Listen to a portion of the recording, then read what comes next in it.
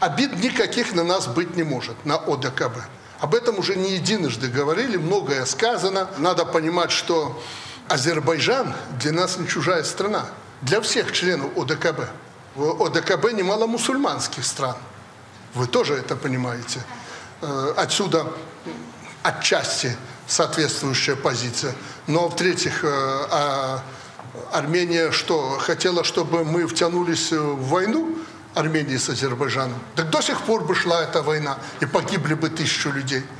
Я считаю, что Азербайджан и Армения, к сожалению, через войну, в итоге пришли к правильному решению вопроса. Армения, и они это признавали, оккупировала 5 или 6 районов азербайджанских. Я этим когда-то занимался очень принципиально. Они это принимали.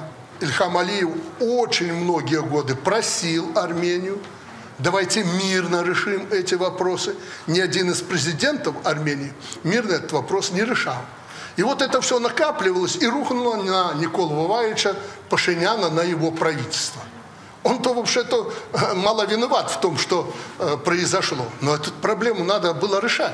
Тем более оккупированные Арменией районы азербайджанские, это пустыня была. В самом красивом месте, теплом, уютном, где могли жить люди. Более миллиона беженцев азербайджанских, огромный груз на Азербайджане и многие-многие другие проблемы. Ильхам мне много раз говорил, я каким-то невольным посредником оказался. Из-за Баку ехал в Ереван и передавал эти сигналы, вплоть до не компенсации даже, а вложения в экономику Армении миллиардных инвестиций. Азербайджан богатая страна. Было очень много предложено по-хорошему решить этот вопрос. И э, в Армении первый раз в Ереване на ОДКБ я об этом сказал, что вызвало там нервную реакцию бывших президентов. Мужики, надо решать этот вопрос, ибо достукаемся до войны.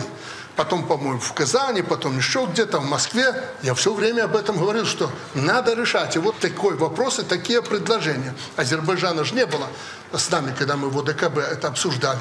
Нет, мы будем воевать.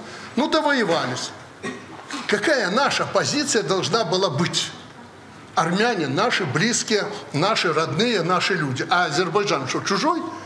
Поэтому мы вот попали в такую ситуацию. Ну и э, ведь там не было причин вступления ОДКБ в этот конфликт. Абсолютно не было для нас повода даже. Как мы могли э, вступить в этот конфликт? Обижаться не надо, на обиженных воду